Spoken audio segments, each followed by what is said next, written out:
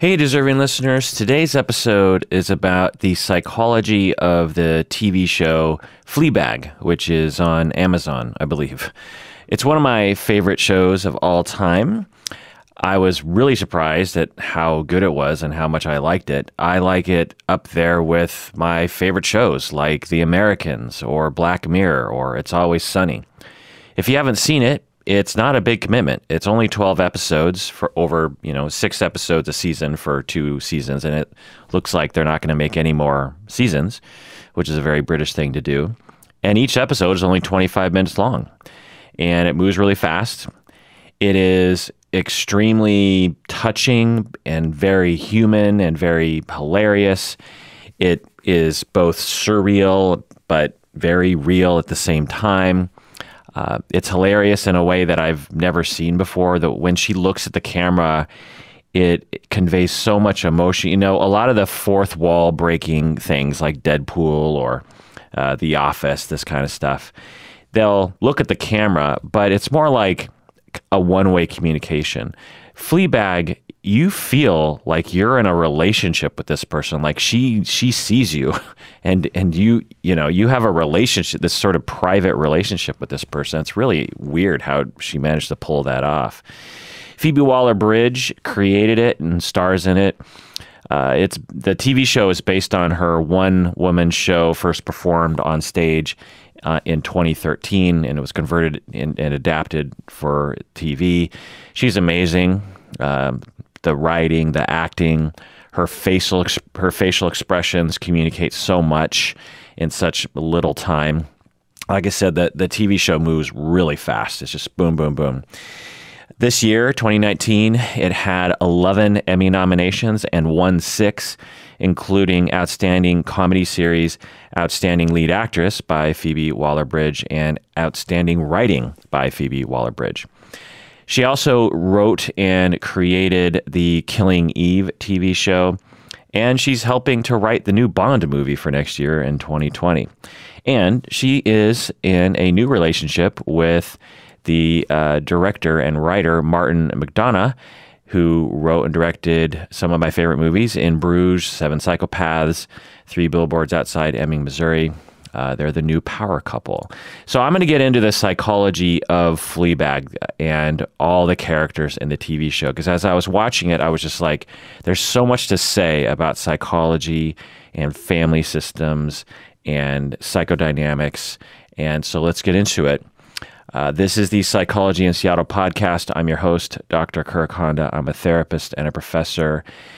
This episode is going to be spoiled. I'm going to spoil. I'm, I did say that right. I'm going to spoil the entire, you know, 12 episodes of Fleabag. So if you haven't seen it, I'd go watch it and come back. I imagine that it's not terrible to have the TV show spoiled because it's not like the TV show has twists or anything. Uh, so uh, if you decide to listen to this and then watch it later, I can't imagine that being a terrible thing. Okay, so let's get into it now. So, since I've been making all these episodes about schema therapy, I thought I would analyze her through that lens first. So, first, when we're looking at people's schemas, we have to think about their core emotional needs that they've had since they were born. And I would speculate that all of her core emotional needs throughout her childhood and adult life were probably challenged, but not severely, because she doesn't seem that, um, you know, uh, pathological, if you will. Uh, given her adult behavior, it's not that out of the ordinary, but she has some issues, right? So I think that uh, she, if she were a real person, we would find that some of her childhood core emotional needs were challenged. Now, I don't think she went through any over abuse, but I but I think she went through some emotional neglect, um, you know, which I would speculate about.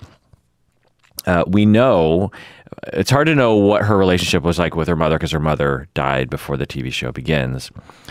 We know that the father and the sister are fairly distant and avoidant regarding emotions. And it seems probable that the mother was also uh, in the way that uh, Fleabag, the the main character Fleabag, she that's her name in the credits is Fleabag. so I'm going to be referring to her as, as Fleabag. Uh, but anyway, so we know that the father, when you see him in in the TV show, he's very cold, very distant. He's there, but he's sort of absent. He he avoids things pretty severely. Doesn't really notice when people are suffering. Doesn't really reach out to people in a nurturing way. And we could imagine that that would have really challenged the needs of Fleabag as she was young.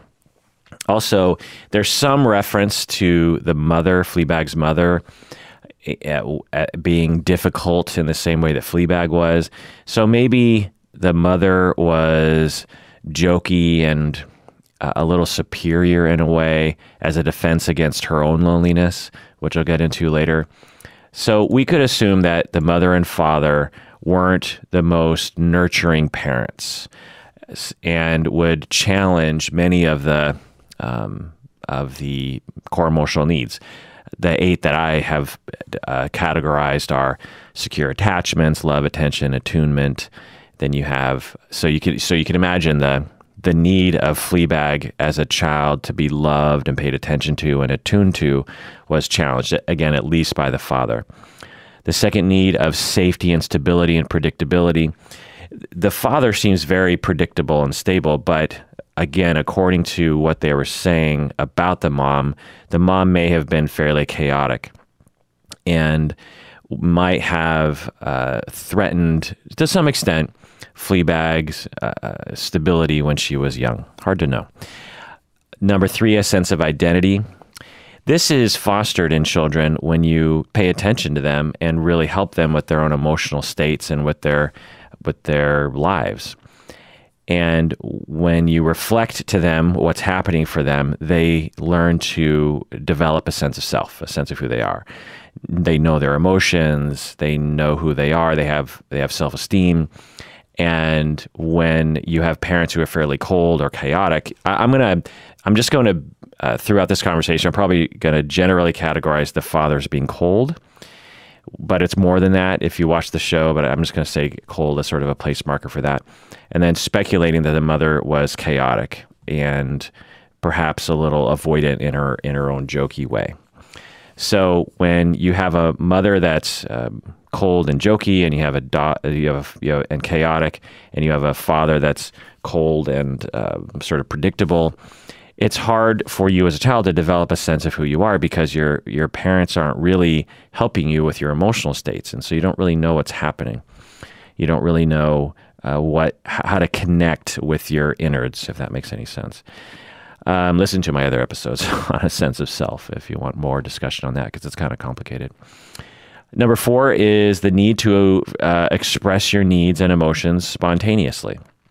In this family, again, speculating on what the mom was like, it seems as though no one is allowed to really express their needs or emotions spontaneously and in a way that other people will hear.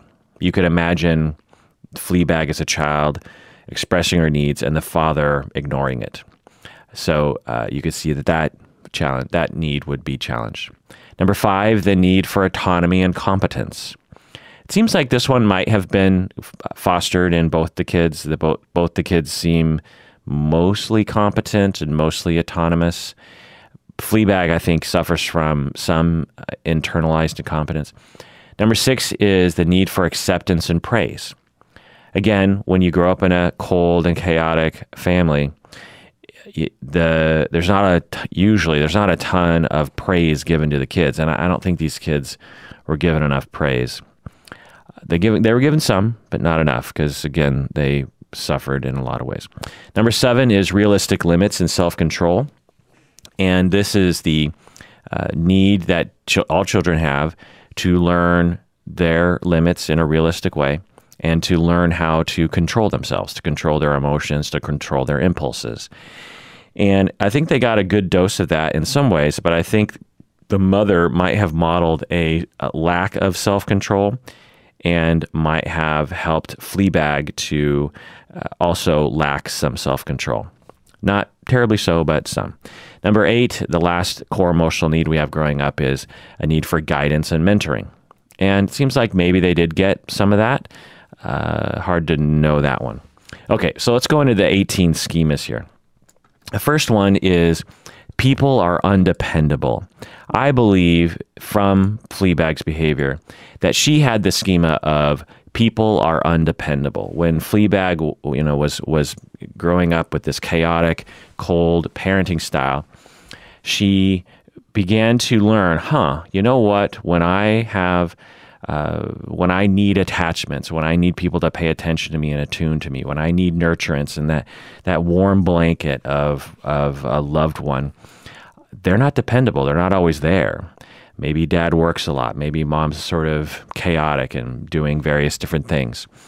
And people with this schema will, as an adult, agree with statements like, I feel lonely, or I feel that I lack a stable emotional support from others, or I expect close relationships to end, or people close to me will leave or die.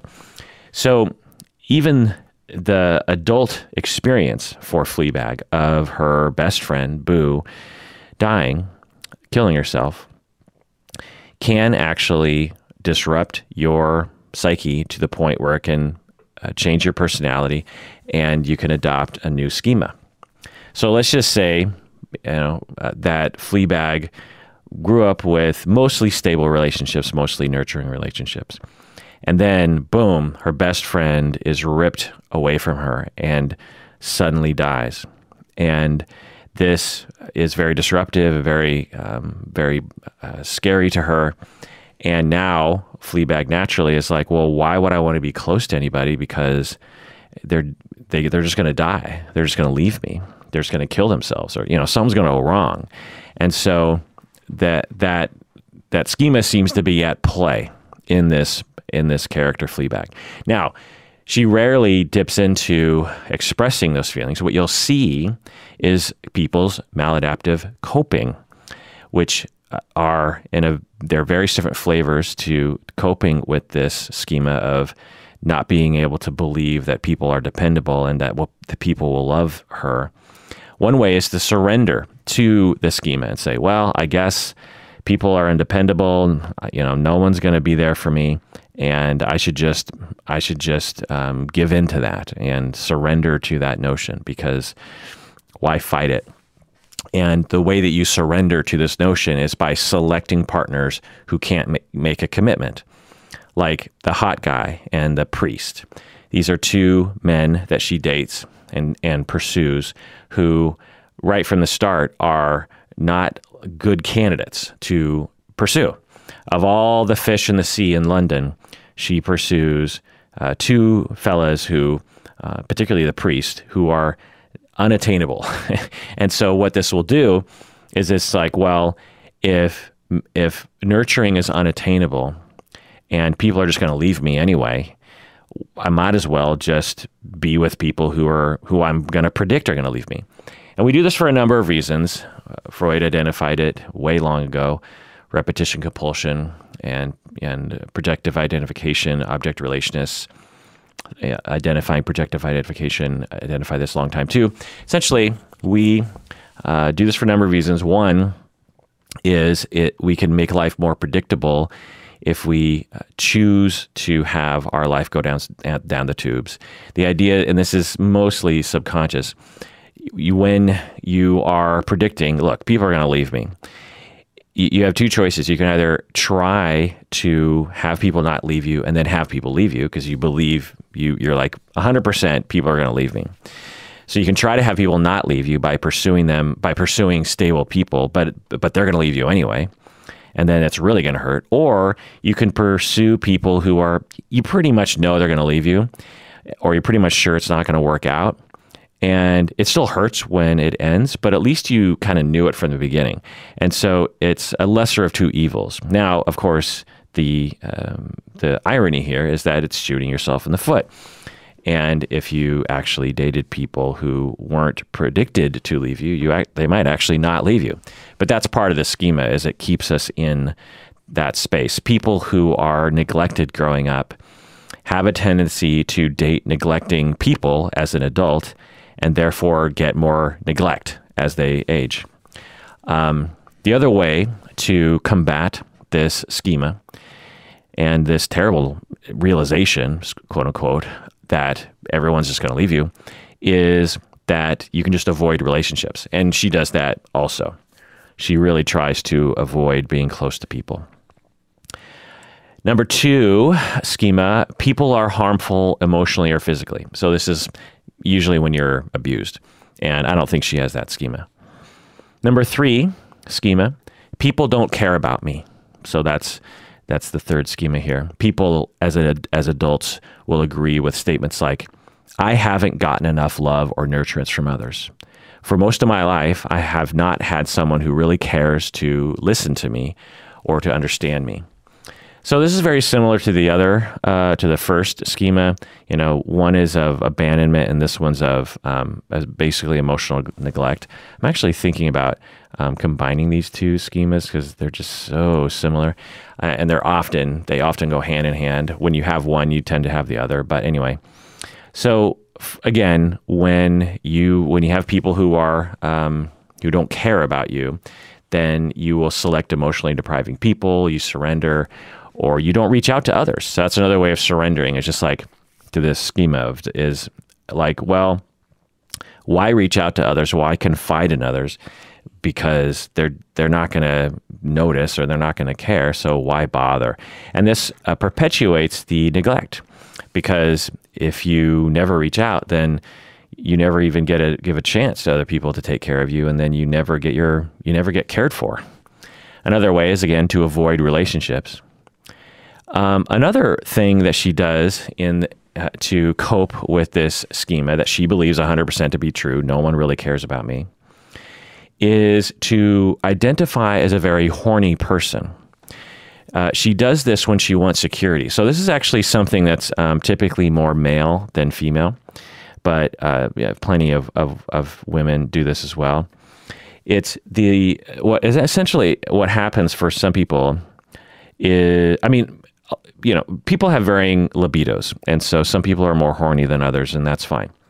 But we see in Fleabag someone who is suffering a lot and has been through massive loss and has a lot of pent up sadness and is deeply uh, self, she has a lot of self hatred and feels very shameful and very guilty and very alone. And yet, on the surface, she seems very happy go lucky and very frivolous and a girl about the town. And she likes to, you know, uh, hit on every, I mean, she hits on everyone. Like, uh, there's this really drunk girl who uh, is like passing out and uh, she, uh, she tries to have sex with her. like it, and she, it just seems like all she, but so one way to look at that is she's very horny. Or another way of looking at it is she's a flea bag. But those aren't very satisfying conceptualizations to me because they don't really make a lot of sense. It's, they're more cultural judgments of people. Below that, if we look again at the psychology of people like this, we all, at a fundamental level, need to have closeness, intimacy, security, cuddling, uh, someone that we can depend on, someone we know is out there either right there next to us loving us or at least somewhere in the world loving us. We need that. It is a it's a need. And when you don't have that notion, I mean some of you listening out there might actually be in those shoes of that you don't really have anyone in your life who you know really loves you, who has your back, who will drop everything for you, who thinks about you, who just randomly reaches out to you and hugs you and and takes care of you. When you don't have that, uh, it's rough. We are, you know, like puppies uh, seeking other animals to snuggle with and be with. We we try to act like we're not, particularly people in London, by the way, culturally speaking, try to act like we're all, you know, above it all, but we're not. And one of the ways that we cope with that in our weird culture is to act like we're very horny and to be very sexual. It's somehow more acceptable to reach out to people sexually, particularly again if you're socialized as a male, uh, than to reach out in a way of, of saying, I'm lonely. It's, it's very like, just imagine you're with some friends and, and they're like, um, "Hey, how you feeling?" And you're like, "Oh, you know, I'm, I'm getting kind of horny lately." Like that's although maybe a little TMI, you're you're gonna get some some laughs. You're gonna be, "Oh yeah, well, I, I'm been I've been there before." But you know, you walk up uh, again. Let's rewind the tape. Friend walks up to you, says, "How you doing?" And you're like, "I am lonely. I feel like I, I need someone to love me." That's a much more intense statement, right? And it's harder to admit to people. It's hard to admit to ourselves. So people will channel their need for closeness into a very narrow space of horniness. Actually, clients will do this to their own therapists. They'll, they'll get real horny for their therapists. And what's happening is they are uh, channeling all of their need for nurturance and closeness through their loins, if you will. And that's fine in therapy. There's nothing, it's a normal actual phase of therapy. But we see Fleabag doing this. She's alone. She has no one that really takes care of her. She doesn't really accept love and attention from people who are offering it, like her boyfriend. And she, and then she finds this drunk girl on the street and she starts to take care of her and she has this closeness with her like oh i'm this human being is close to me and i have this urge to cuddle with this person and she but she frames it as a sexual thing and she hits on her has the same experience with this uh, woman mentor that she has a drink with in season two. Great scene. The woman that she gave the award to. And again, she meets her. They have this very real, frank conversation. And Fleabag, I'm guessing deep down, just wants to connect, just wants to be like, Will you be my mother? Will you tuck me in at night? Will you take, will you love me? Will you be there for me? Because you just seem like such a real, wonderful woman. But instead of saying th- something like that, because it's too it's too hard to say, it's really hard to admit to oneself. She just kisses her and tries to have sex with her, and that's uh, that's a way that we deal with the schema that no one will be there for us. Is to uh, just just uh, focus really on on sexual conquest and and activity. All right, this next schema, the fourth schema, is I am defective. This is the schema where adults will agree with statements like, no one could love me once they saw the real me. Or, I'm terrified that my defects will be exposed to others. So, this is a lot of shame, just believing that you're nothing and you're just a bad person. And you might not even have a clear idea as to why it is. You just sort of know in your bones there's something wrong with you. You're not worthy and you know you got to trick people to like you. And she seems to have this one as well. Probably from the way she was treated growing up uh, neglected by her father and uh, you know experiencing a chaotic love from her mother. And the way that she deals with this in the show with so we don't we don't necessarily see the schema but we see the way she copes with it. And the way she copes with it is to beat herself up. You know, when when you want to surrender to the idea, you know, one way of surrender to if if you have this idea of just like I'm a terrible person, one way of coping with it is just to surrender. Yes, I give up. Yep, I'm a terrible person, and she beats herself up for her friend dying, and she beats herself up for having a terrible life. Another way to surrender is to self sabotage is to drive your life down the tubes and make sure that uh, you have reasons to beat yourself up. If you believe that you're a terrible person and you kind of struggle with this notion, one way of gaining control over that is just to, well, if I'm a terrible person uh, and my and I'm worthless, then I guess I'll just make my life worthless, and then maybe I'll be in control of it on some level. And so she definitely self sabotages. There's a lot of things she does that um, harms herself in her life. Another way of coping with this pain on the inside of that shame is to avoid, to avoid relationships and avoid expressing true thoughts and feelings. And also avoid things that she can do well at. Like when you think about her life, uh, we see her beginning of season one, where she owns a cafe and it's failing. And there's just so many other things that I imagine she could have been doing, right? She she she needs money to keep the cafe afloat. And we just have to wonder what else could she be doing where it wouldn't be so uh, open to failure? I mean, cafes are probably really hard to keep afloat in London, and so there's got to be like a regular, you know, salary job that she could do that she wouldn't fail at, you know. So the fact that she sticks around in this might be evidence that she's trying to reaffirm to herself that yeah, I'm a shameful, horrible person, and I I can't even get this cafe off the ground.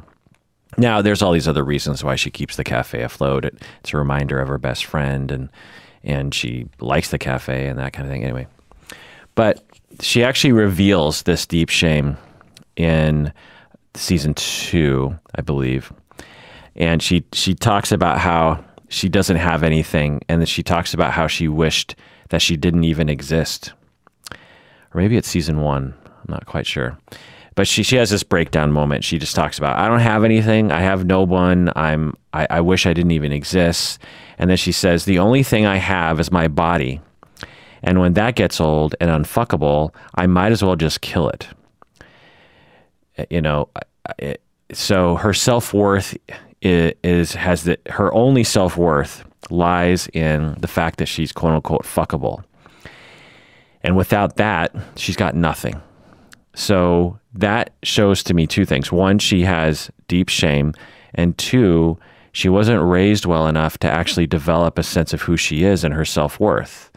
That the parenting that she went through with her father and her mother was not sufficient enough for her to have uh, qualities that she could rely on, other things that she could fall back on that would make her feel that she was worth something and not ashamed. Um, either everyone feels like this. Oh, and then she says, either everyone feels like this at least a little bit, or else I'm completely alone. So this is another uh, very breakdown moment for her. She's just like, um, you know, I, am pretty sure everyone else is feeling this too. Uh, that getting old is terrible, and that they feel terrible about themselves. I mean, it, I, am I alone? And then she thinks, you know, because if if other people aren't feeling this and they can't they don't understand what's what I'm going through here, then yeah, I'm just completely alone in this. So that's a you know it's a very very touching moment in the show. Number five schema that uh, we can look to is I don't fit in. I don't think she has that schema. The ne- the sixth schema here is I am incompetent, and I think she has a bit of this one. People with this schema as adults, and I imagine Fleabag would I agree with statements like, "I do not feel capable." I often need other people to help me. I don't cope well by myself. I'm better off when others are taking care of me. I have trouble doing things unless someone guides me. I often screw things up. I sometimes feel like a child in an adult world. Adult responsibilities often overwhelm me. So this is this is a pretty uh, poignant or central schema that we see presented in the TV show Fleabag in the character Fleabag. One way to deal with the schema of, you know what, I'm incompetent. I'm ashamed of myself. No one will be there for me. And I'm not good at things. And the way that you can cope with this, one way, again, is to surrender. And the way you surrender to this is, is you just say, I, I give up. I can't. I, am incompetent, and there's no road to me being competent. So I, I, I'm just going to ask for help a lot. And she does. Uh, at the beginning of the show, right away, we see that she has a history of asking her brother or or sister, asking her sister and her father for money, and they uh, seem to be predicting, like, okay, did you come over here because you're going to ask for money? And they're and she's like, no, even though she was, and so that's a way of surrendering to your incompetence of just like, I don't. I don't have what it takes to get out of these jams. I need other people to help me. Another way to surrender, again, is to self sabotage, as I was saying before. Another way to fail, and or to, another way to surrender to this schema is to give the impression that she's not capable, uh, which she does a lot. She, if you watch her life and if you knew her as as a person, as a sister, as a daughter, you would just get this this impression like she was on the edge of failure at any given moment. And another way to cope with this schema of, you know what, I'm in, I'm incompetent, is to overcompensate. To overcompensate by trying to be very independent and never asking for any help. And I, so I think she did that too. I think she would vacillate between uh, surrendering and just being like, please help me, to overcompensating by acting like everything was fine and she didn't need any help. One of the uh, areas to look into, and this is when we start dipping into psychodynamic theory, is the idea of masochism. And I think that relates to her schema of incompetence. Masochism, there's a lot of ways to define it, but the way that it's generally defined in the psychodynamic literature is not necessarily a sexual thing. I mean, often it can be, but more generally, it's just an unconscious, self-defeating acting out. So there's there's sexual masochism where you like to be beat during sex and you get off on being beat or put down or something. Uh, but I'm talking about the personality masochism where you just try to destroy yourself through self defeating self sabotage. And it's all unconscious. So there are many types of it, but the way that she does it is in a couple ways. One is is to assume that things will always go badly. So she might as well get it over with, at least, you know, having some control over the process. So this is again this incompetence. It's like, you know what, I, I I'm a terrible person. So it's sort of a mixture of I, I'm ashamed of who I am and I'm incompetent. And then it's just like, well, uh, then I'm going to masochistically assume that I'm a terrible person, assume I'm going to screw things up, and then I'm just going to make myself screw it up. And I'm, I'm going to, I'm going to, you know, punish myself by screwing up things, if that makes any, any sense. Um, another is uh, in this deep shame mode where this idea that it's like, well, I need to be punished for what happened. I'm so incompetent that I couldn't be friends to my best friend. I couldn't keep my best friend. I had to have sex with her boyfriend. I'm incompetent. I'm a terrible person. I need to be punished.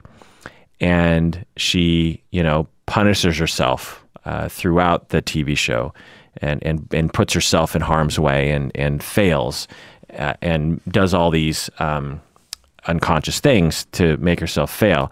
Like, um, I mean, so even if we go back to uh, the beginning of the storyline, she had sex with her best friend's boyfriend. This is we. I could assume that before she did that, she had this general sense of incompetence and shame. And what's a wonderful way to sabotage your life? Cheating. Cheating is one of the best ways to sabotage your life when you believe that you're worth nothing. When you believe you are worthless, one of the fastest ways to affirm the fact that you're worthless is to cheat and then get caught. Or cheat and not get caught, for that matter. Is to cheat and then to be so guilty, feel so terrible about yourself that that um, you just like I'm a scumbag, I'm a flea bag. And so she has sex with her best friend's boyfriend, and what a wonderful way to to, to surrender to the notion that she's a terrible person and uh, and then it happened, and then she had then she had this sort of actual concrete reason to to you know hate herself. Another thing that she did here uh, in the show in the very beginning was she took her she took her shirt off in front of her banker. It's a very funny scene, but uh, essentially she she she ran to the banker because she's trying to get this loan, right? And she's sweaty and she uh, is she she's going to take her sweater off, and she thinks she has a shirt on underneath, but she doesn't. She just has her bra, and as she's trying to get this loan, she, she appears to be taking her shirt off as a way of trying to use sex to get the loan, right? And then the banker is very, you know, sort of, uh, you know, put off by that, and doesn't give her the loan. And the uh, the thinking. So on the surface, you say, well, she just made this mistake. It was just this, you know, uh, gaffe that she committed that she didn't have a shirt underneath. But Freud might look at that as an unconscious effort to sabotage her life, unconscious masochism of her her her unconscious mind knew that she did not have a shirt on underneath that sweater. And her unconscious, so so her unconscious convinced her conscious mind, you do have a shirt on underneath, and you might as well take off your sweater. And then you try to take off your sweater, and then it creates this masochistic thing where you feel like an incompetent person, you're ashamed, you're you're a pervert. It's all in this perverted line of thinking, right? It's like, wow, I, I am a pervert. And she talks about that later. She's just like, I'm a pervert. I'm a terrible pervert. And that's a way of of beating yourself up for the shame that she got into by cheating on by you know having sex with her best friend's boyfriend. Um, so yeah, I hope I'm making this clear, uh, and uh, I'm sorry if I'm beating a dead horse here, but just to be clear about this, she already felt incompetent and ashamed, so she needed to reaffirm that, and she needed to act out unconsciously to surrender to that notion, and so she did so by cheating, by having sex with her girlfriend's boyfriend, and in that process, she starts to say, "Oh, in the way that I'm ashamed of myself, in the way that I'm incompetent, is I'm a sex crazed pervert." She's actually not a sex crazed pervert. What she is is deeply ashamed of herself. I hope that makes sense. Anyway, um, she took the statue from the stepmom's house. That was self destructive. She was on and off again with her boyfriend. That was self destructive. She dropped that trophy. That would be another Freudian slip, if you will, that Freud would look at. It's like, why did you pick up that giant glass trophy? And then why did you drop it? Did you really do it on accident or were you actually acting out your, uh, you know, what Freud might say is you're acting out one, your desire for masochism and to reaffirm the fact that you are a terrible person. Then you have these traumas, you know, in your earlier life around being a terrible person, you're trying to act that out and trying to make sure that it actually uh, happens.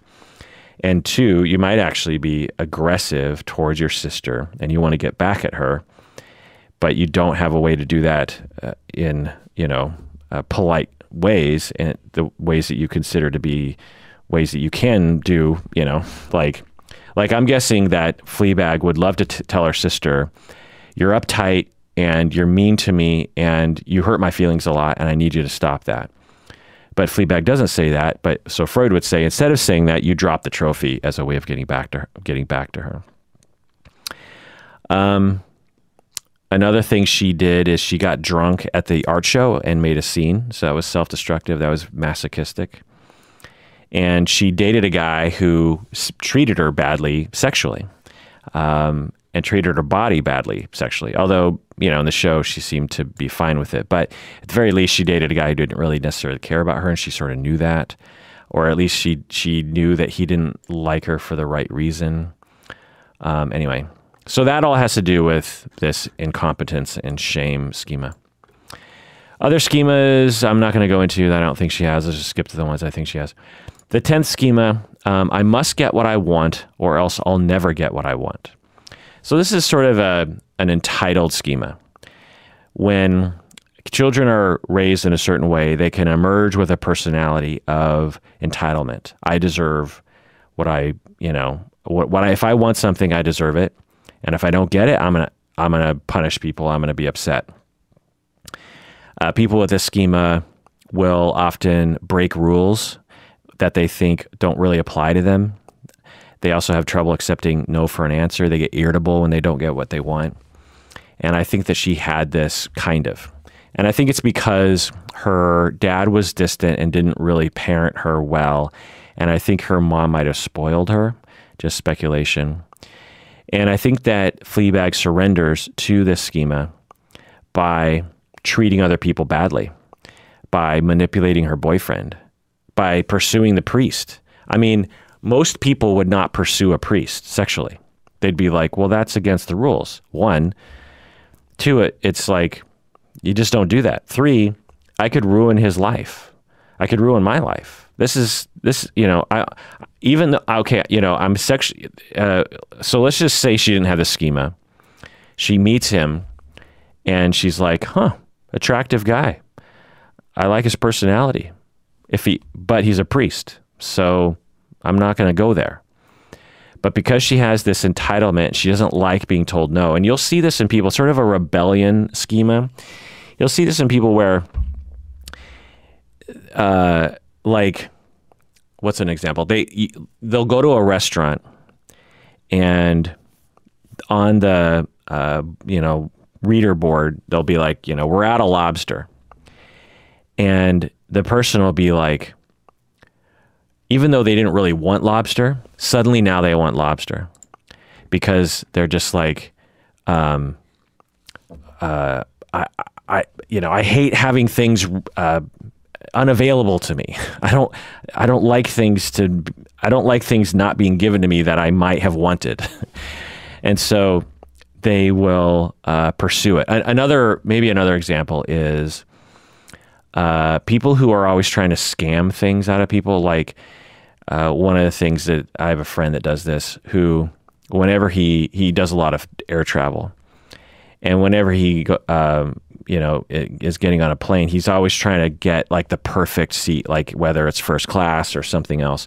or his hotel room he's always trying to upgrade or uh, he's always he just he he's not he's never satisfied with just the way things are. He's always wanting to to up his game if that makes any sense and so it's this it's this sense of entitlement, and there's various different roads to having that entitlement. Now, it's not a horrible thing. At a lower end of the spectrum, I actually have that. I'm I'm one of those people who hates to follow silly rules.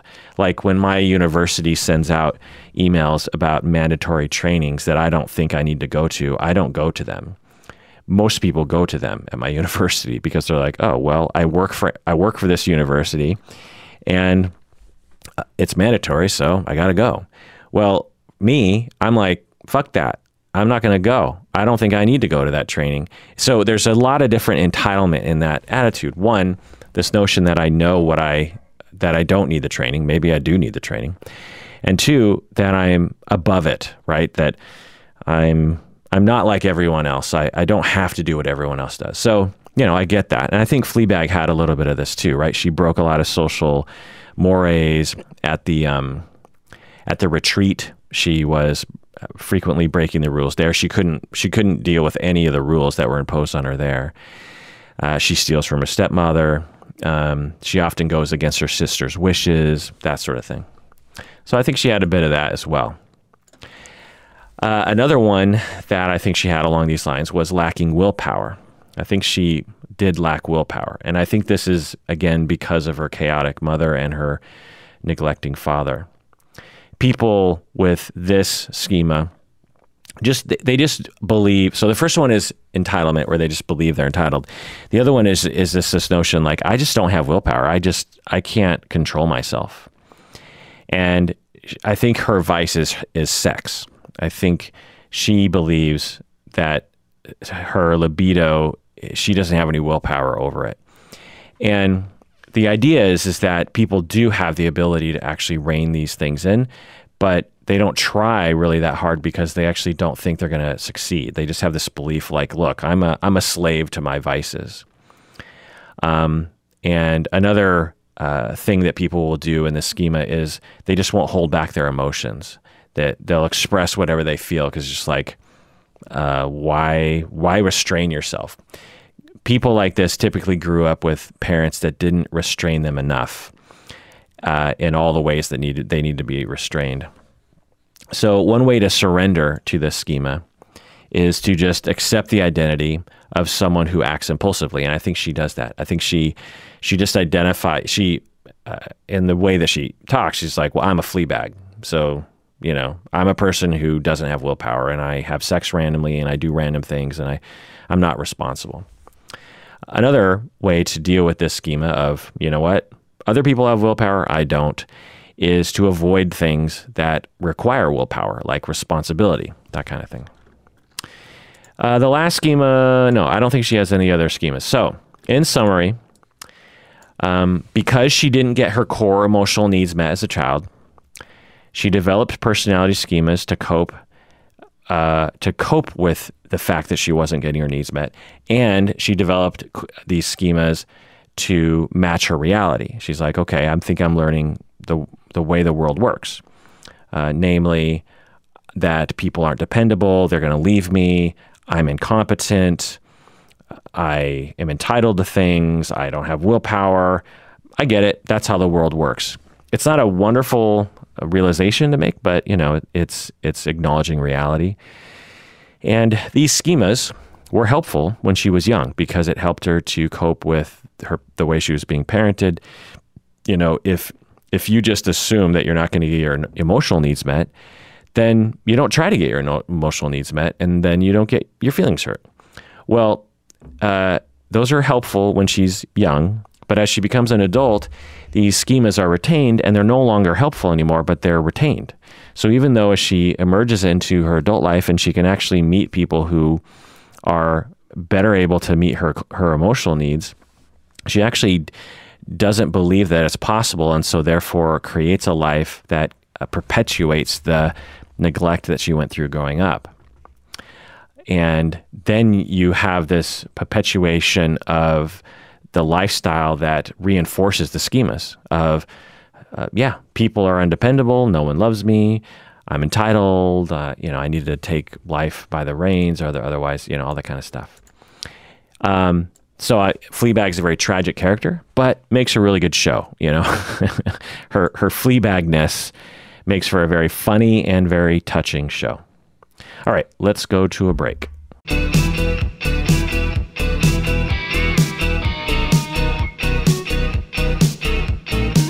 All right, we're back from the break. If you haven't become a patron of the podcast, do so now. Go to patreon.com.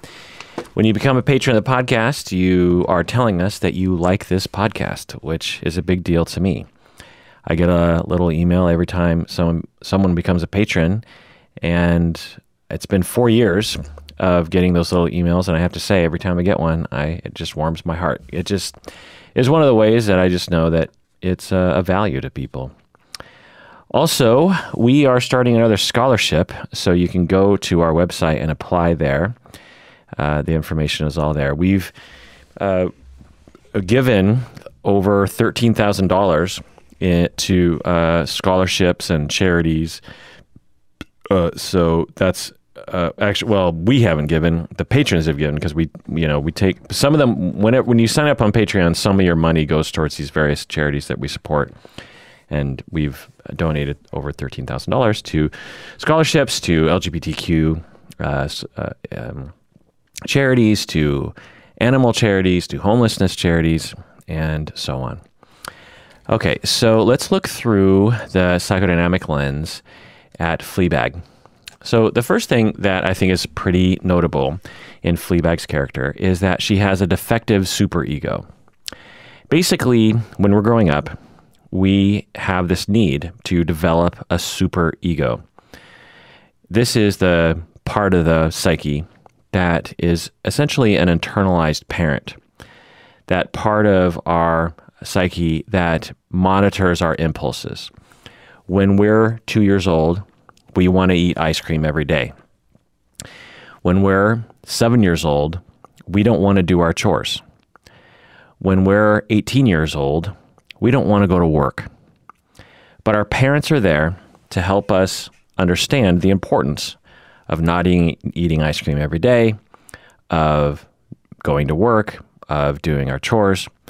And through this uh, interaction with our parents, if it's done in a loving way, an attuned way, in a firm way, we internalize that parent, and that parent essentially becomes a super ego, the part of our psyche.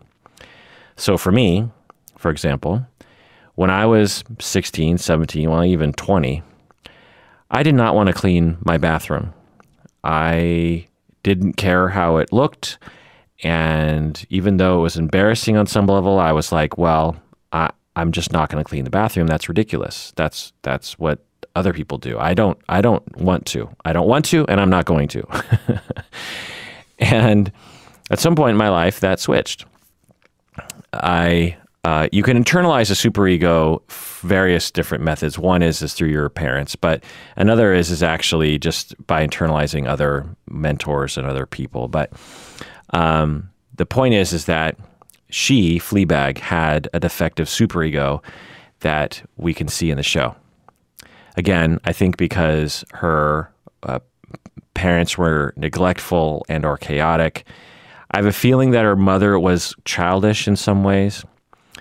And as a result, she lacks self control. And she, so there's two, we often identify only one side of the superego, uh, the self control side, you know, the, the side of you that gets you to go to work, that gets you to clean the toilet, that gets you to not punch people in the face when you feel like it, that gets you to um, be responsible and to be nice to other people and to not um, run down the street naked yelling, you know, eat my banana or something.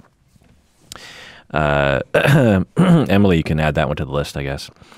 Um, but the other side of our superego is to uh, self soothe we our parents don't just control us, right? They also soothe us, and through internalizing that, we can actually self-soothe, uh, and that's a very important thing for maturity and for adulthood. Is the ability that when we're in traffic and we're alone and we're late for work and we're frustrated, that we have the ability to be like, everything is going to be okay, and sometimes we'll even verbally say things that our parents would have said to us when we were when we were young. This is our superego, you know.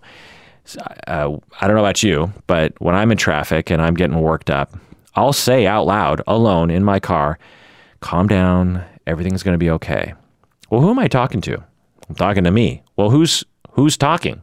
Well, I'm talking. Well, it's my superego talking to my id and my ego. And this is a self soothing action. Another uh, important part of the superego is to compliment ourselves.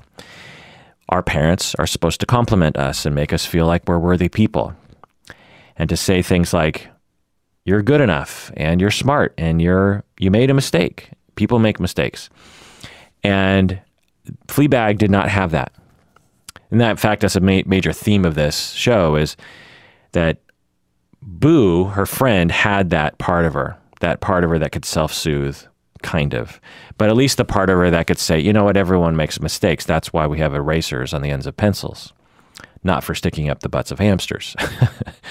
um, but Fleabag seemingly did not. When Fleabag went through a, a tough time, she didn't seem to have the ability to control herself or to soothe herself or to compliment herself. So clearly a defective superego. All right, to continue our look into Fleabag's character through a psychodynamic lens, let's look at her defenses. So, defenses, um, defense mechanisms, we utilize all the time to protect us from pain, psychic pain and when we have we have various different uh, defenses that can help when we have various di different defenses defenses that are not very helpful. For example, um, when say you're at work and you're reminded of your cat that died. Well, I'll just talk about myself. I had to put my cat down last year, and I had to go to work soon after that. And I had to teach, I had to go to meetings at the university, I had to function. And so I employed a defense of avoidance and intellectualization. And that got me through the day. And then at the end of the day, when I didn't need those defenses anymore, I let myself cry. So defenses aren't terrible, they're just there.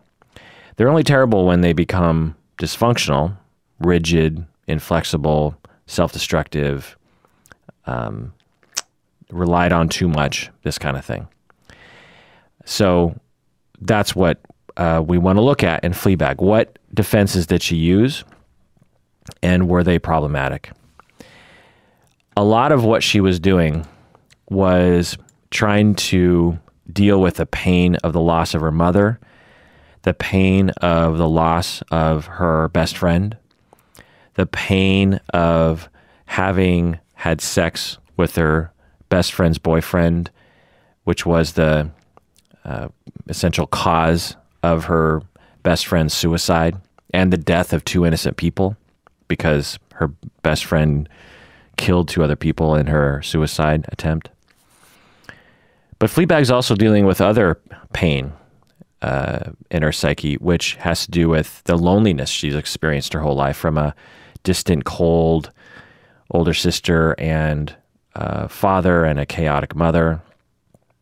Um, never feeling like anyone really loved her. And so there's a lot of pain she's dealing with. And it's very hard for her to deal with that pain. And one of the ways she deals with it is through humor. For example, she misses her ex. This is in season two. And she's she bumps into him at the church and she is she she misses him. She's like, "Oh, um, well, I kind of miss him." And also, um, I I, I feel bad for treating him badly. I feel I feel the pain of the shame that I treated my ex boyfriend badly. And there's a lot of different ways to deal with this in this moment. The functional way would be to say, I'm really sorry for the way I treated you. And I just say, I miss you. I, I, there's a part of me that still loves you. And I'm really sorry. I'm just sorry for what I did. That's, that's, but that's vulnerable. That's scary that's setting yourself up for someone to laugh at you or for someone to reject you or someone to yell at you.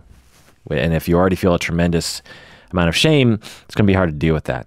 But she has to do something because she feels that pressure of that pain, of that guilt, and that longing for him. So, what does she do? Well, she makes a joke and she says, Do you still wank about me sometimes? So, this is a veiled question that does communicate some level of the way that she's feeling, right? That she wants to know, do you still think about me sometimes? Because I think about you sometimes and I and I'm sorry for what I did. But she makes it into a joke. That's a defense. It's a way of trying to distance ourselves. It's a way of avoiding our pain, a way of trying to categorize it as a funny thing rather than a painful thing, even though it very much is a painful thing. So she says, Do you still wank about me sometimes? Also, when she goes to therapy, uh, she, she uses humor. And the therapist really picks up on that, really picks up on her use of humor. The therapist asks, You know, why did you come to counseling? And she says in this very flippant way, Fleabag says, because I used because I used to use sex to deflect from my screaming void inside my heart. From the screaming, oh, because I used to use my, I'm a terrible actor. I, I have a hard time reading lines. Because I used to use sex to deflect from the screaming void inside my heart. So she doesn't say this in a heartfelt way. She says this in a jokey way. And again, the humor allows her to say the truth but it distances herself from the reality of it so she doesn't have to really feel it and she doesn't have to really deal with the consequences that she thinks are going to happen which is that no one's going to really care but the the self-sabotage here is that when you joke around about those things you don't give the impression that other people uh, should take care of you you know like if she said to her therapist i feel like in my heart there's a void and I feel like I'm using sex to avoid it and I don't know what to do. And I, I, am just confused and sad and scared and I don't know what to do. Well, what that does is it prompts other people to take care of her. Now, I don't know if that therapist would have done that because that therapist was terrible, but but at least to the boyfriend, you know, if she would have said something like, I'm alone and I'm ashamed and I'm sorry and I just want you to know that I, I care about you and there's a part of me that wants you back. And I, I, I know that you're married now with a kid, but, uh, and I, you know, I'm not saying that you should come back to me, but I, I just miss you. And I just, can you hug me? Um, by doing that, she would get her needs met, right? Because he would actually, he cares about her. He would actually hug her and take care of her. But uh, by being humorous about it, by saying, do you still wank about me? That's gonna he she knows that's gonna turn him off, and he's gonna be like, ugh, gross, and and move away. So her fears of being abandoned and by about not being cared of uh, necessitate the defense of humor, which in turn necessitate other people neglecting her because she's using humor. And this is why I think the therapist, at least on some level, is doing a good job by trying to point that out. It's like, why are you joking all the time? Like, uh, you know, what are you trying to avoid? The therapist was terrible. I just had a horrible way of acting. This is typical uh, to the way that Hollywood will depict therapists. And by Hollywood, I mean anyone who does anything on TV or movies. Um, another defense that Fleabag, Fleabag uses is to keep moving. She has a lifestyle of keep moving. Very, you know, when you're bored, call that guy to have sex with. Um, or, you know, keep, just keep moving. That's people will do that to avoid their pain. She also uh, uses a defense of dating men that she isn't really interested in. Because again, it avoids the pain, it avoids having to deal with what's happening. That's in season one. In season two, she dates a man who is completely unavailable. So this relationship with the priest is very distracting, right? And uh, helps her to avoid her pain because she knows that this relationship is doomed, or she she believes in all likelihood it's doomed, and so um, it helps her to avoid and you know because if she st- she doesn't if she doesn't date the priest she has to stop and really deal with the loneliness of herself and also the problems in her own family which i'll get to in a second. Um, another uh, uh, defense with joking is to, to be a wisecracker is to be superior. There's a superiority to making jokes to especially a superiority, a sort of dominance. When she says to her ex boyfriend, Do you still wank about me? It's kind of an invasive question, right? It's sort of a dominant question. I mean, how do you respond to a question like that? And so when you do stuff like that, you sort of retain this notion that you're superior. Like, I'm the one who makes jokes, I'm the one in control of this conversation. And you just feel you just feel this little bit of power because you feel a lot of powerlessness. So I think she's also dealing with a deep sense of powerlessness. Another way to uh, avoid uh, and to defend against the pain is to suppress one's emotions, um, which she does. Another way is to regress. So we all will re- regress to an earlier stage of development when we're faced with things that are unbearable. And there's a scene that is very poignant for this, where in the confession booth, uh, she's at the low point of her life and she can't really use her normal defenses. She, her, her, the priest has helped her to get past the humor a little bit, and she finally feels a little bit of a connection to him. And in that moment, she finally just lets go and tells the truth she tells the priest that she that she wants someone to tell her what to do. She wants someone to take care of her. You know, responsibility is stressful, especially when you're ashamed. And so there's this fantasy that if you can just relinquish all your responsibility to someone else, that they will take care of your shame, they'll take care of your pain. They probably won't, but that's the fantasy it's a fantasy that we all have when we are, uh, and sometimes it's fine to have that. Like, I can't wait to get home to tell my wife about my terrible day because she'll take care of me. It, there is some functionality to that. But it can be taken too far. Uh, for Fleabag to say, I just wish someone would tell me what to do, it, it's a fantasy that isn't likely to work because she probably wouldn't like a life where someone told her what to do all the time because she would rebel and run away from such control. But she was re- regressing in that moment. Again, as a way of defending against the responsibility of having to own up to what she did. In that confession booth, she was about to tell the, the priest about her real shame. But instead, she said, I just want people to tell me what to do. I don't know what to do. And so you'll see people do this, and, and you parents out there, out there, you'll see your kids do this. You'll have a 10 year old daughter who, um, you know, I don't know, knows how to clean their room. And uh, they've been irresponsible lately and they haven't cleaned their room well. And you'll come upstairs and you'll say, How come you haven't cleaned your room? You know, uh, what's wrong with you? How you know how come? And your kid, for whatever reason, they're really struggling in the moment emotionally, and, and they don't know what to do, and so they might regress in that moment. They might say, they might kind of flop on the ground and be like, I don't know, and they might look like a three year old in that moment, crying, throwing a tantrum, not uh, seemingly knowing how to clean their room. They might even pick something up and kind of drop it, like I don't know what to do.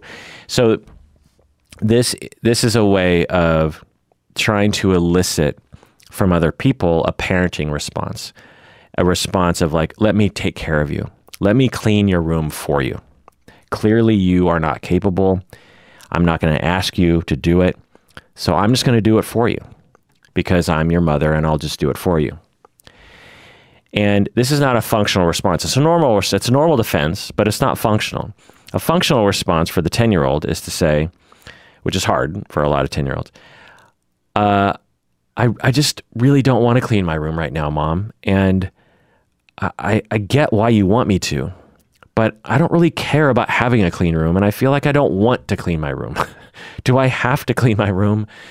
Could we talk about this? Like, some 10 year old version of that conversation, right? Or just clean the room, right? But when we're stressed out, we don't know what to do, we feel backed into a corner, we regress. Well, for Fleabag, she was backed into a corner where she was letting down her defenses. And at that moment, the, the natural thing to say was, I am the cause of my best friend's death because I had sex with her um, boyfriend. I'm a terrible person. And I also feel like maybe my mom's death was my fault on some level or something. And I'm confused. I don't know what to do. And I know you can't take that away. I, I know you can't take those feelings away from me, but I just, I guess I just need someone to talk to about that. That would be the 30 year old way of dealing with that. But she regresses and she says, I just want someone to tell me what to do. Again, normal. Another defense that we look, can look at with her is projective identification, which is my favorite defense.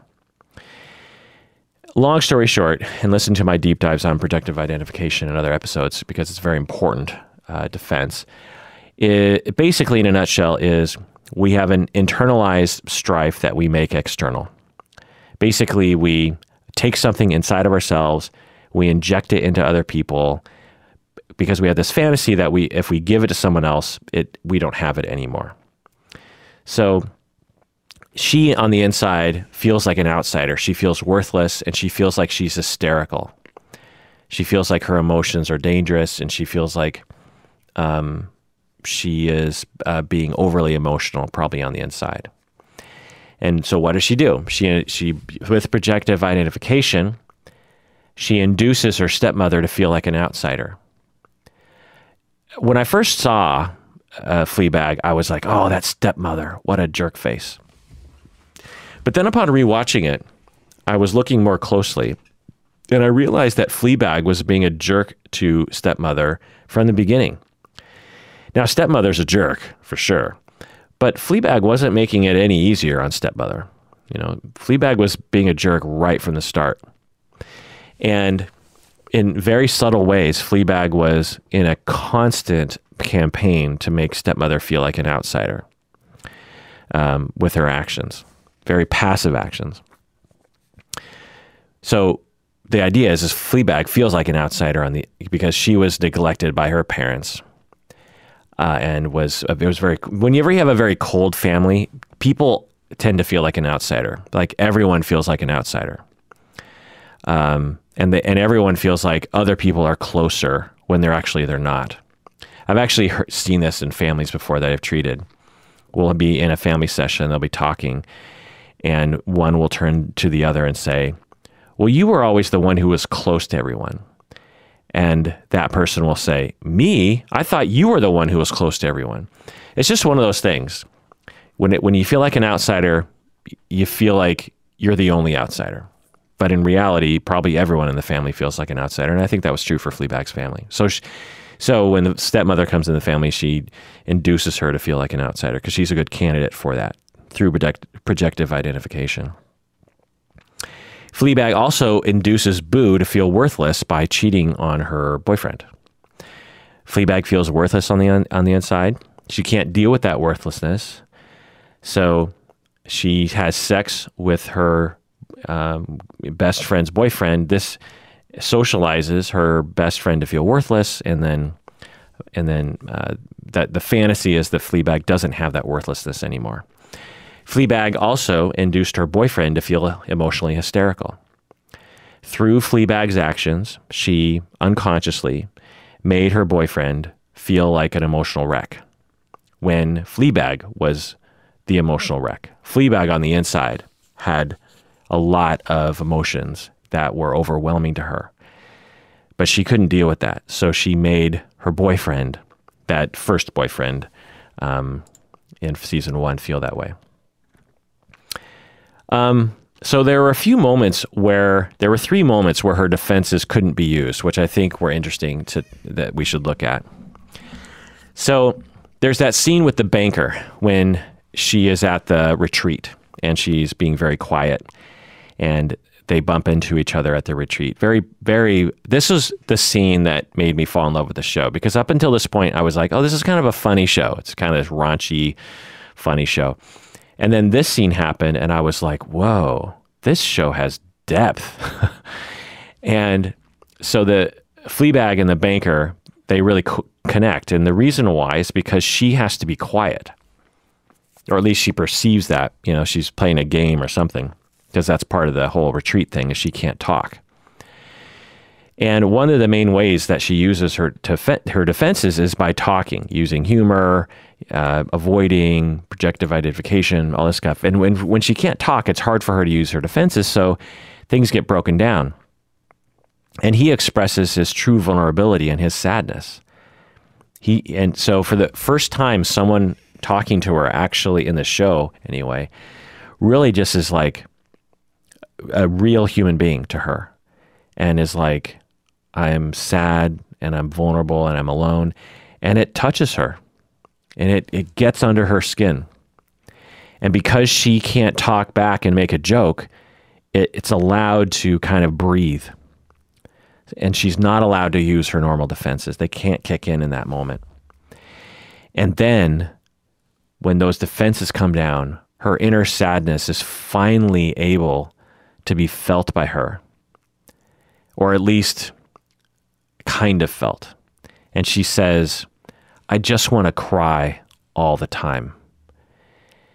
And this is when she acknowledges that deep shame and sadness and grief that she feels. But she doesn't, and with that, that, that very economical, you know, economic phrase that Phoebe Waller Bridge writes, I just want to cry all the time. It says so much, right? It's like, I want to cry all the time, but it also says, I have deep sadness. It also says, I'm suppressing it because I'm afraid of it.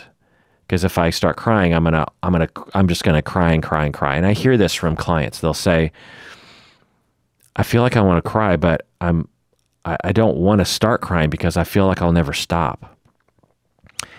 And this is a defense, which again can work under some circumstances. Like when I had to put my cat down and go to work, I had to function. I, I, I couldn't, I mean, I could have cried at work, but it wouldn't have been helpful, really. It wouldn't have been the end of the world, of course, but there was a time for that later, and I had the time later. So there's nothing wrong with suppression, but the problem is, is when it's all the time and you're never allowed to actually get your needs met, which is to actually cry. And so what people will do is they'll start to have these belief systems that help them to uphold their defenses. Like, if I start crying, I'm never going to stop. That's not true. That's never happened in the history of humans. No one has ever started to cry and then never stopped for years and years. That's just never happened. I'm here to tell you. Uh, and I know it feels that way, but it's not true. And if it was kind of true, like, what if I start crying and I just cry a lot over the next couple months? What I tell people is, well, uh, then God bless you. I mean, I'm glad that you're able to get that out because you deserve that. Your body doesn't cry uh, because it's something's wrong. I mean, you're, there's nothing wrong with you because you want to cry. It's actually a good impulse. It's like saying, I, it's, I know it's a gross analogy, but it's like saying, well, what if I go to the bathroom and I just keep going and going? Well, anyone would say, well, if you got that much crap in you, like you got to let it out. And I guess, I guess if you poop for two months, I mean, get started now. Because uh, if you keep suppressing that shit, literally, um, it's just going to be worse for you in the future and in the present. So, no time like the present. Uh, then, to, uh, and yeah, I guess if you have two months of crying ahead of you, then get started because it's only backing up. so, um, but she has that defense of of this belief system of just like you know I, I can't cry. I just I just can't do that. Or no one is around to be there with me as I cry. It's such a great scene um, between the banker and her. I just thought it was just so interesting. You know, uh, the first scene at the bank, and then the second scene at the retreat, and then the third scene at the end of the season. Uh, that is the last fade out scene where they're at the caf- cafe and he, she's getting her loan. It's just this powerful thing. Another moment where she doesn't have her um, defenses is, is at the end of season one. She's all alone. Uh, that hot guy dumped her. Her ex boyfriend has moved on. Her dad pushes her away uh, for her new, wife, you know, for the stepmom. You know, chooses the stepmom over her. The sister thinks that she tried to have sex uh, with her husband. Uh, she can't distract anymore. She's at a real low point. And she goes to a bridge and she's about to kill herself. And then she has this moment where she finally realizes that everyone makes mistakes and it's okay. And that's like the whole point of the show. I just, I just thought that was a real wonderful moment in the show. Uh, another moment where she didn't have her defenses available to her was when her sister pulls away from her in season two, I think, because her sister uh, thinks Fleabag hit on her husband. Um, she can't use her defenses in this moment, and she pleads with her sister to believe her. She's like, You have to believe me. He was the one who tried to kiss me. But the sister doesn't believe her. And they get into a verbal fight. And then the sister, so at this point, she's letting down her defenses. She's being vulnerable. She's reaching out to her sister, even though there's a whole side of her schema that is like, no one loves you. You are a terrible person.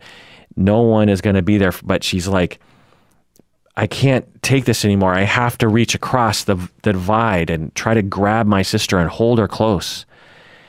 She doesn't do it in a good way. She doesn't say, please don't leave me. What she says is, you're stupid for believing that your husband didn't try to kiss me because he did. They get into a fight. The sister gets defensive, says something hostile, and says, You know, how can I believe you after what you did to Boo? Meaning, how do I believe that you didn't hit on my husband when you had sex with your best friend's boyfriend? And no one has been talking about this aspect of the loss or the loss at all. It's a big moment. It's a big, big trigger for her. And at this point, all of her defenses, you know, come away, the humor, everything.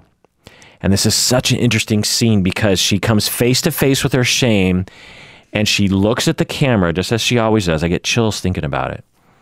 You know, she throughout the show she's been looking at us, but it's always been this sort of like um, superior look. Like we're in on the joke and all these other people are idiots, kind of a thing. Um, or let me let you in on this fun thing that I'm doing. It was, it's always like the superior. I, you and me, watcher of this TV show, we're in this together. We know what's going on. The rest of the world is stupid. In this moment is the realization, uh, wh- for us anyway, of like, oh my God, the reason why her best friend killed herself was because Fleabag had sex with her best friend's boyfriend. That's why her friend is dead. That's why her friend tried to kill herself. And Fleabag knows that we know now because, you know, Fleabag's been looking at us this whole time and Fleabag knows that we know. And then Fleabag runs away from us in shame. She looks at us into the camera and backs away like, oh my God, I've got to get away from you because you know now, and you are going, you now hate me, and you're going to reject me. It's just this powerful moment. It just makes the the experience of watching this show just so much weirder and realer, like a Black Mirror episode or something. It's like, you know, we're made to identify with our characters, but uh, this takes it to a whole other level. You know, she looks at us directly in the eyes, Fleabag, and is like, "Oh my God, you know, you know what I did, and you hate me now, and I'm ashamed, and I'm and I'm, you know, pulling away from you. I'm I'm completely alone. I don't even have you, the watcher, anymore. It's pretty amazing." So another thing to talk about here in terms of the psychology is to talk about grief directly. You know, again, she had these major losses: her mom, Boo um, even her family's homeostasis, with her mom dying, it threw off the way her family came together. You know, each member of this family had a very uh, important role. You had dad, who was the stable one, but the cold one. You had mom, who was the chaotic, fun one, but also a little neglecting. You had the sister, who was the star of the family. And you had Fleabag, who was like the cute one and the funny one and the distractor and to some extent the, the truth teller. Um, and so to have that homeostasis lost, that's a big deal. But again, obviously losing your best friend and your mom, that's a big blow as well. So uh, these losses were complicated by the fact that, you know, if you have, if your mom suffers from cancer and it's five years and then she dies, or, uh, you know, old age, as they say. She's 89 and she dies. You've been preparing for it for the last 10 years, maybe, mentally, emotionally. But when someone just suddenly dies from suicide out of the blue and they died because of something you did, that's going to complicate that grief. Like it's not just you're not it's not just a loss. You didn't just lose a friend. A friend didn't just die. They died because of you and they died because of suicide. It was violent. And when they when you know the best friend died, she killed two other people. So that complicates um, the uh, the grief. Another thing that complicates the grief is that the mom was immediately replaced by the stepmom, who was a friend of the mom and the kid's godmother. So that's going to complicate the grief because the stepmom was interfering with the grief process of that family because she was insecure terribly. Um, part of the grief process in this show that is depicted very well, I think, is the culture of London, the culture of, of Britain, or of mainstream London, shall I say. This whole notion of keep calm and carry on. You know, for a while I kind of liked those memes or those posters. I think it's from like World War II when the bombing was going on, they would have these these um, posters. I, I, I, I, guess I could look it up, but I'm not going to bother anyway. The point is, is that you've all seen those "keep calm and carry on" things, and it's like, oh, it's kind of this cute little phrase from England. At least I think it is. But over time, I've learned to dislike these posters because they're emblematic of emotional avoidance. Okay, if you're going through a bombing raid and you have to keep calm and carry on and get to the bomb shelter and you don't have time to complain or you don't have time to cry, you got to get safe, then yeah, keep calm and carry on. But we have in, you know, Seattle culture, uh, we're in that direction. I think London is, you know, particularly bad in this way of this notion of just like, hey, keep calm, carry on, let's make a joke. That's why I think English people are so good with humor you know, Britain, Brits and Irish people, they're they're so fucking funny. Canadians because they're even worse than Americans when it comes to emotional suppression in general. And what's one of the best ways to suppress is through humor. And it's great. And it, you know, can make you really funny, but it also is horrible. And so, uh, this culture of keeping calm and carrying on is uh, going to make grief a lot harder, if not impossible.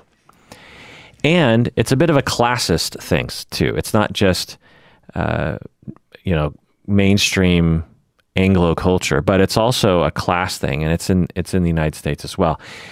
There's this notion that we have that emotions are for the lower classes.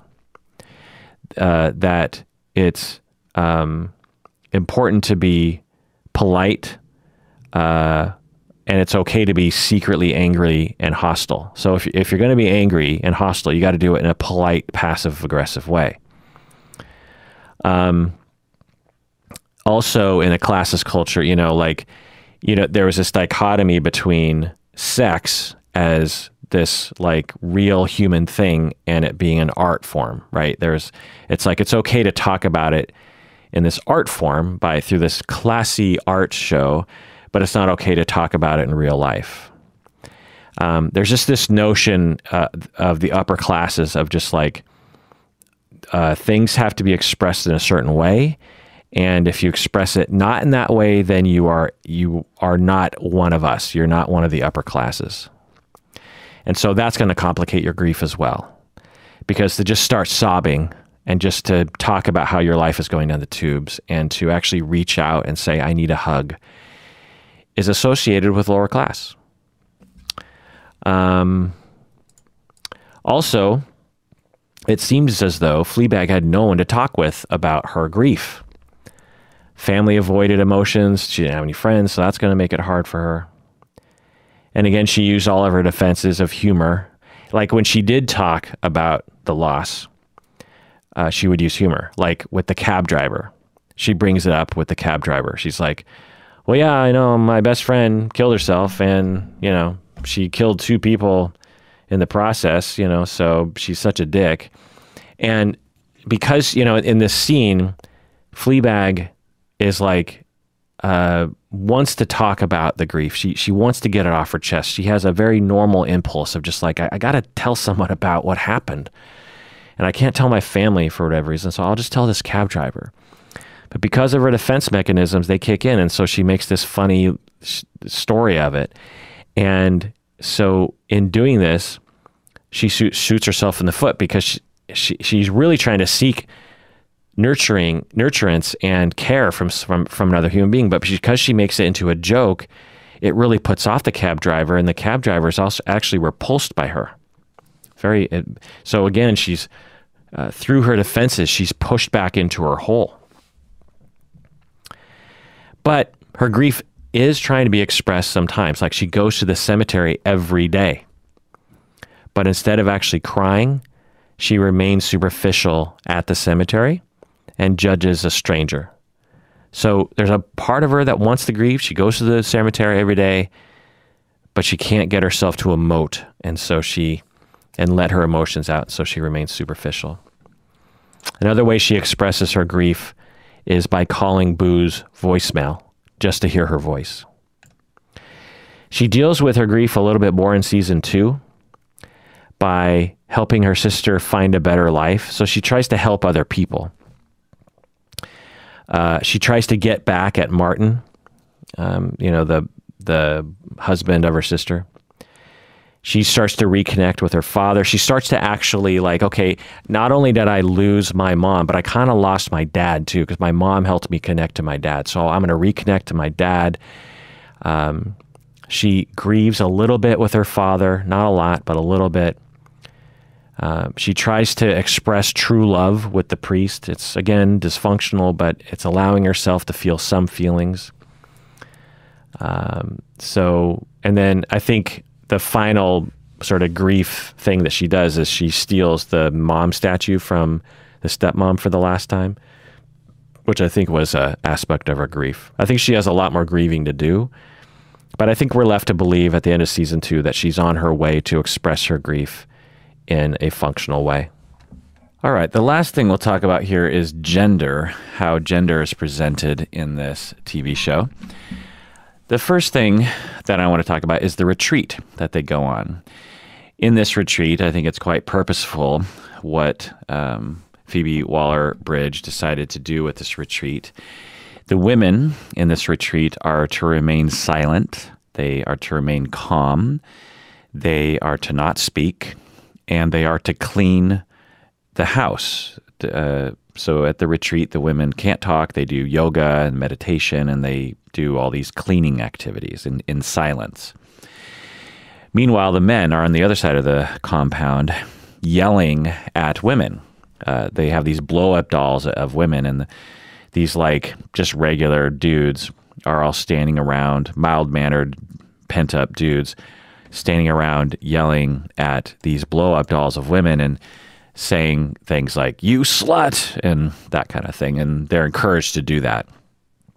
And it's both ridiculous because it's like, okay, that's really stupid. Like the women are supposed to be silent and the men are supposed to yell slut at a blow up doll. But it's also um, obviously emblematic of society, how women are supposed to be quiet and clean and men are supposed to be angry. But it's also quite poignant because if a um, retreat like this actually existed, I could see it actually helping people. I wouldn't recommend that people be shunted into the the female version and the male version. I, I would like everyone to participate in both activities. Getting your anger out can actually be quite powerful. So, although, it, as with a lot of things with this show, there's a lot of ridiculousness, but also poignancy and reality to it. It's both surreal because a retreat like this probably doesn't exist, but it's also quite caring in the way that so you know uh, Fleabag's watching the men yell slut slut at these blow up dolls, it's not it's done in a way of making fun of it, but also in a way that is a little sympathetic to the men. The men seem like they're suffering too and that they have a lot of pent up anger. Also, being silent can actually really be therapeutic. To just be quiet, to be with your thoughts, and to be with others in that space, and to have no responsibilities, and just to have time to think and be in the moment can be very uh, helpful. Another thing about gender in this show is around sex and sex positivity. This show uh, in a way, can be quite sex positive for women. It, uh, Fleabag, this woman, she likes having sex. She has, and she's not ashamed of it. And she doesn't have any real bad things happen to her because she likes sex. And she masturbates. And she masturbates and you know in the relationship with her boyfriend she's the one who's masturbating and her boyfriend is the one who is who feels threatened by her masturbating. Stereotypically, it's the other way around. Obviously, women masturbate, and men can be threatened by that in the same way that women can be threatened by uh, men masturbating, uh, and obviously in same sex couples as well. So, this notion, you know, when you think about, oh, masturbation and, you know, uh, it, it, in TV shows anyway, it's usually depicted as a male thing. So it was um, this show, Fleabag, pr- proposes that hey, you know, women masturbate, and, and not not all women do, but certainly some, and one woman can masturbate like this, and it's fine. She talks openly about her sexuality. Um, there's also the art show, the stepmother's uh, sex. What's she? The sex exhibition. there's also these mild lesbian encounters between Fleabag and other women and other women that is dealt with. I thought really well. Uh, it's not pathologized or somehow something really evil or something. It's just like Fleabag. We're not really quite sure if Fleabag is actually bisexual or just sexually acting out, but it's uh, it's sexuality in the show is just dealt with like yeah, people have sex, no biggie. Uh, so I thought the gender regarding that was notable. Um, there were a couple moments where I just had to wonder if the genders were reversed and whether or not that matters. It's not always. Well, let me let me propose a scene. Like there's this scene where the Fleabag she goes to the physician and the physician is performing a breast exam because her mom died of breast cancer, and so so she regularly goes to the physician to have her breasts examined. And as is her way, she, in that moment, probably feels quite scared of getting breast cancer and also starts to feel the grief of the loss of her mother who died from breast cancer. And is probably reminded of that when she goes to the doctor to have her breast exam. And to defend herself against that pain, she uses humor. And she starts to and she and she uses perverted humor and she starts to creep out on the physician. So as she's getting this breast exam, she's essentially hitting on uh, the physician and saying lewd things, saying um, sexually inappropriate things, and the physician is not being receptive to it. And this scene is quite funny. It's like, you know, this funny little scene. But if we reversed the genders, which again isn't always um, an indication of something being terrible. If we reverse the gender, so you say, yeah, there's a guy and he goes to see a female doctor to uh, examine his scrotum, and he starts making all these jokes like, ooh, feels good. I like being touched down there. How would we feel about a scene like that? How do we feel about a character like that? How do we feel about someone who wrote a scene like that? Uh, we would be, I hope, quite grossed out by that. We would think, I don't like this show. I don't want to watch it. Uh, this scene is promoting essentially rape culture and um, toxic masculinity, all that kind of stuff. And it would be. But somehow, when we reverse the genders and the woman is doing it to the to the male, uh, the you know the female patient is doing it to the male physician. It's this quaint little funny scene, a little awkward, but not seemingly politically problematic. Now, uh, so on one hand, I want to say that we can't really reverse the genders because in our society, the directionality of pain and abuse is often between directed from men to women, especially when we think about casual encounters. Uh, the women walk around and get whistled at or get treated in a certain way, and in the media, women are objects of sex and this sort of thing, and men are allowed to have personalities when they're in movies and that kind of thing. Uh, obviously, it's not it's not entirely that way, and it's getting better, but those are the uh, things that we have to look at. So when we look at a scene like this, it is perhaps okay for it to be this direction because it's like, well, in, in the scheme of our society, uh, this scene isn't emblematic of an ongoing problem. Whereas if you reverse the genders and a male is doing it to a female physician, then that is emblematic of something that is really quite troubling in our society that happens a lot. On the other hand, a lot of women are sexually abusing people, and a lot of men are being sexually abused. And it's such an underground thing that a lot of people don't even think it could ever happen. To the point where when you have a male student who's 15 or 14 or 13 and he has sex with quote unquote a hot teacher, a female teacher, a lot of people are like, ah, oh, good for him you reverse the genders, it's it's this terrible abusive thing to the to the child.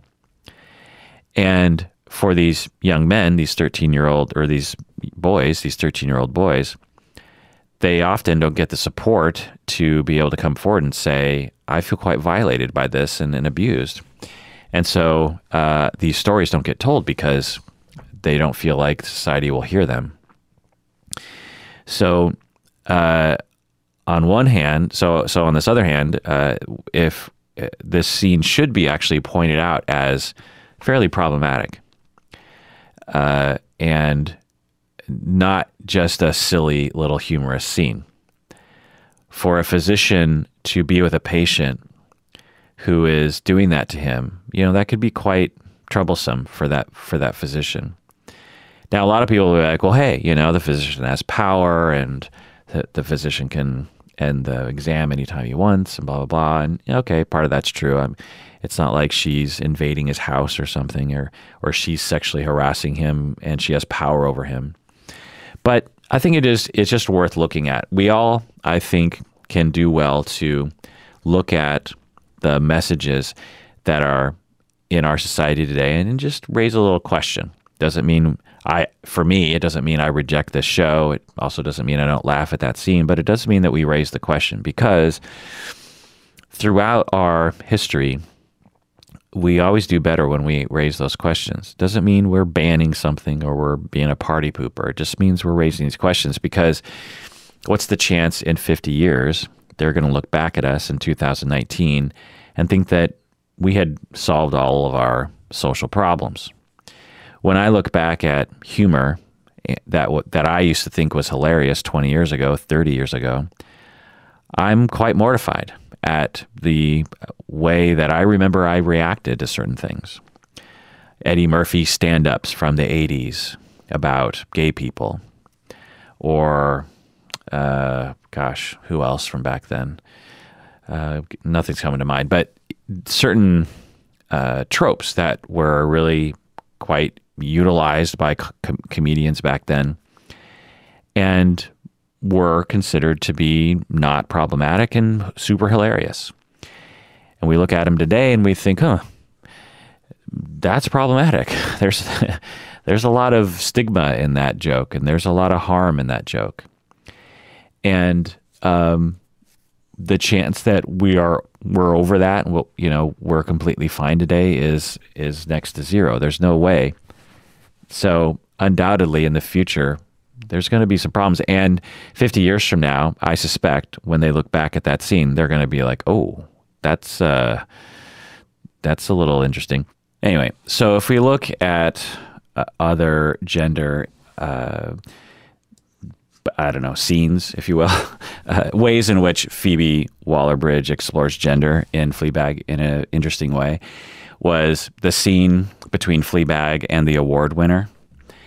When uh, the older woman who gets the award and she has to track her down and get back the award, and they go to this bar and they get a martini to get together. And the award winner, this older woman, is uh, kind of a mentor for Fleabag in this moment. And the woman, the older woman, she resents getting the award because it's the award is for women in business. You know, it's like Successful Women in Business Award. I can't remember the exact award, but it's something like that. And she really resents it. She she said it's sort of the kids' table of awards, which I thought was really interesting. And although on uh, I understand why we have awards like this you know, women in film or women in academia or women in business or uh, Asian Americans in business. These these kinds of awards. I understand it because we live in a racist, sexist society that uh, gives a lot of awards and whether it's formal or informal benefits to uh, white males. And so we have to um, have sort of uh, sanctioned off award systems or recognition systems for people who aren't aren't traditionally um, acknowledged. Uh, so I get that, but I also get this the flip side of it of just like getting an award like that is like the kids' table of awards because it's like, well, you're not going to get an award if we match you up against men, so you're pretty good for a woman you know what I mean? And so you're you're the best of the women business people.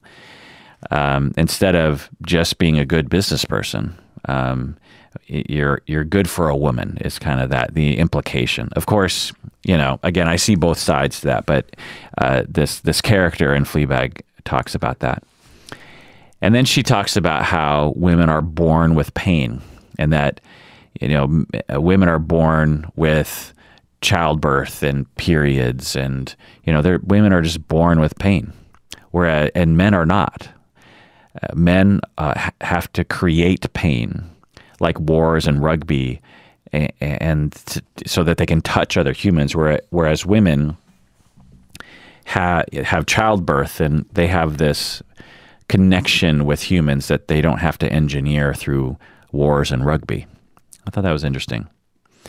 And then she goes on to talk about how menopause is both horrible, but also uh, provides a lot of freedom because after you go, you know, you live your whole life as as just a machine with parts. She talks about. She's like, you know, after you go through menopause, you're no longer a machine with parts. You just have to watch the scene. And I, am guessing you have. It's really an interesting scene. And then she says, um, after menopause, you're no longer a, mach- a machine that, that with with parts. You're just a person who works. you're just like a regular person now. And I thought that was interesting. And I, I think as points to Phoebe Waller Bridge's, uh, I don't know, progressiveness and her understanding of how society works. Okay, so I think I'll just end it there. I have more notes, but they're probably not important or interesting to go into. Let me know what you think. Any ideas of Fleabag's personality? Do you think I got it right? Do you think I got it wrong? Let me know. You can go to our website and fill out the contact us page. That's the way I prefer that you reach out to me because it asks all the important questions. And uh, as always, become a patron of the podcast if you haven't already. Also, join us on Facebook. That's the main place where we do all of our announcements and we play different uh, games and I, I do polls and whatnot.